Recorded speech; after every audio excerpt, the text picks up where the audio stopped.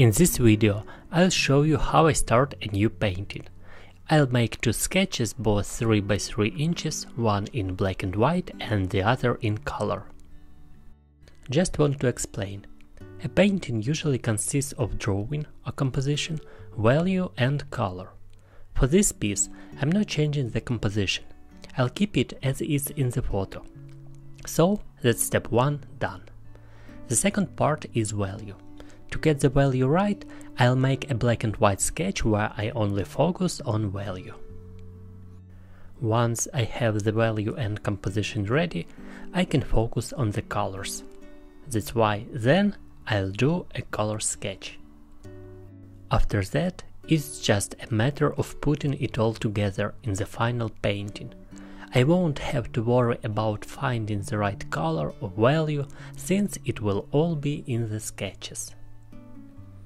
So I start by drawing two identical sketches with a pencil.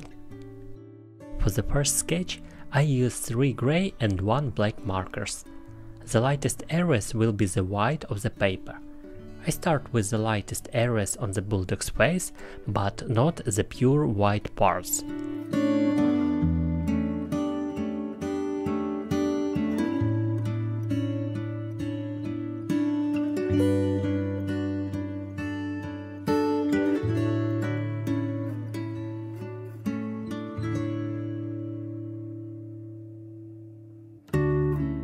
Then I use the next marker to shade the darker areas. The key is to show the relationship between light and dark.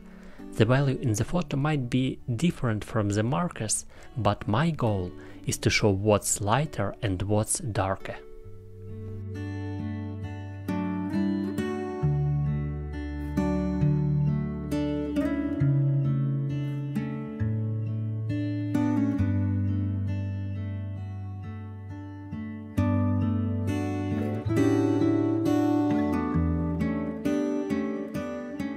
And finally, I fill in the black areas and add some details.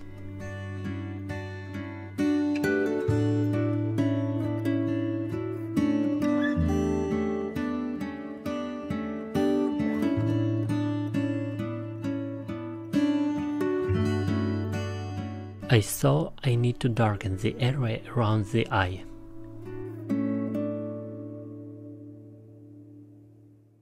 I decided to use another light marker to separate the white areas from the background, making the background a bit darker than the lightest parts of the painting.